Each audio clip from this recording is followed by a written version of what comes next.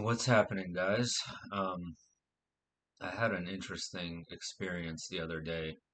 You can call it a sort of daydream, sort of flashback. I don't know how you can describe it, a vision. Um, but it was really detailed and it was really um, interesting and in depth. Uh, the description I was given of what I would describe to be as another dimension. As many of you already know, I see many such dimensions in dreams.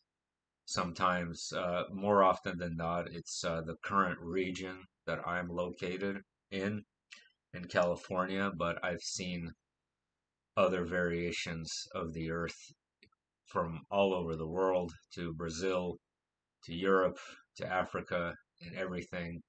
And in this particular case, it, it, was, it was very specific to California and uh, I was in a town called Hemet yesterday, where we have family and where we were celebrating a birthday party. And um, we drive up there, and from that town, you can clearly see uh, a really well-known mountain here called Mount San Jacinto.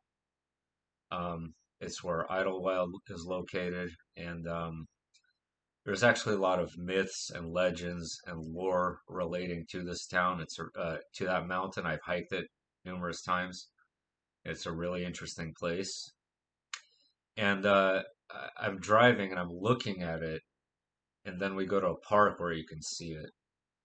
And I'm having a sort of a flashback where I see this large city kind of enveloping the entire mountain, uh, which is strange um, you can I saw it both from the perspective of daytime and at night, full of lights and things like that.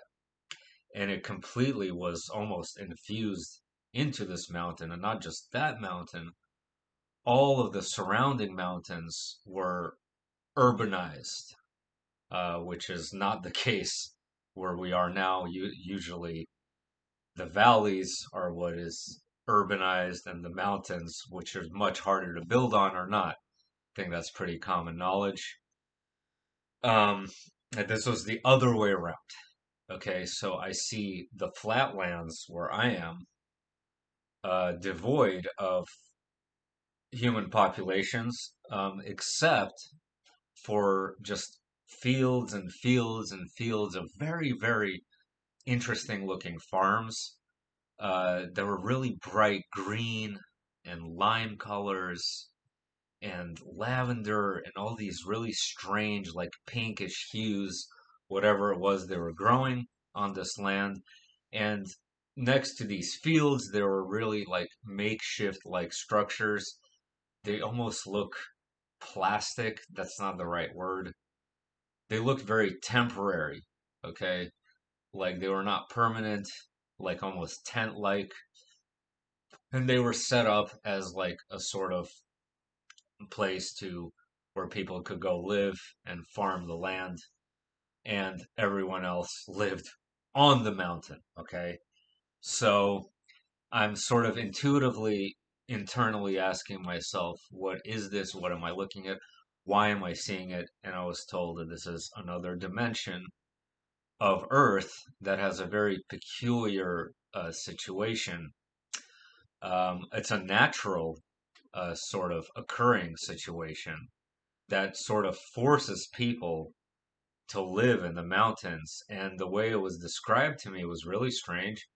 Was that you know how like the Nile River basin would flood or the Mississippi would flood and the soil would be enriched with um, all sorts of minerals, and uh, the waters would retrieve, and then it would sort of regenerates the soil, right?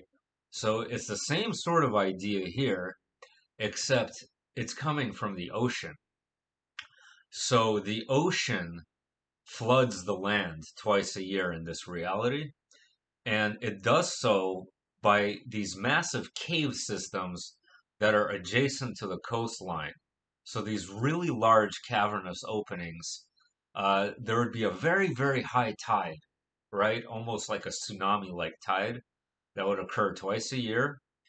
and it would push that water into the caves, which would push the water into underground rivers. Okay, and uh, keep in mind, like uh, you might be asking, well, salt water, how is that gonna regenerate the soil? Like, wouldn't that just kill everything? Maybe this is not a saltwater ocean.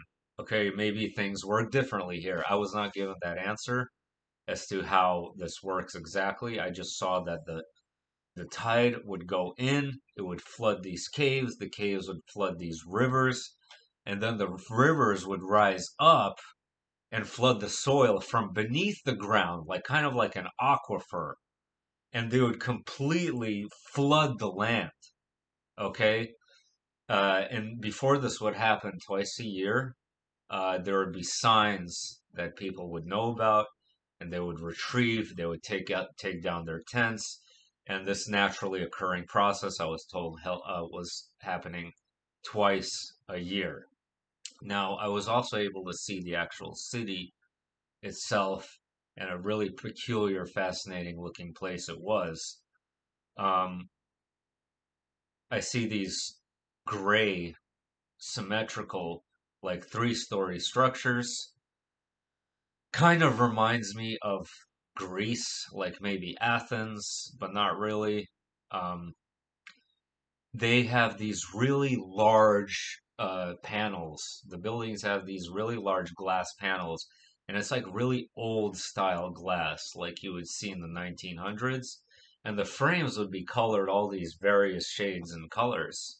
And so you had these large windows with these small buildings, and it looked kind of strange but cool at the same time. And you have these very narrow streets, cobblestone streets, and these structures were they they were the dominant structure in these cities, and you would see these sort of moped car like things moving about. And uh, I was also given uh, the sense that this place was really oriented towards some kind of faith or religion of some kind. Uh, I saw lots of people like wearing robes um, and dedicating themselves to some kind of faith that was not it's not a faith that we know about and uh, it's also this faith is somehow uh, correlated with this natural occurring process of the flooding plains. And I don't know if this is just a regional thing in this dimension where this occurs or if this is global where all the oceans would would flood these cave systems all around the world and flood the, the lands and everyone has to live on mountains globally i have no idea uh, all I know is that for some reason, this sort of knowledge of this dimension popped into my head. And was it a fascinating place? Place, absolutely. It was a fascinating place, and I would go there in a heartbeat. It would be really interesting to look at and see, um, like a very different type of environment in the same location. So, uh, I love glimpsing into other dimensions. I don't know why. I I just think it's fascinating to see how other realms operate, you know?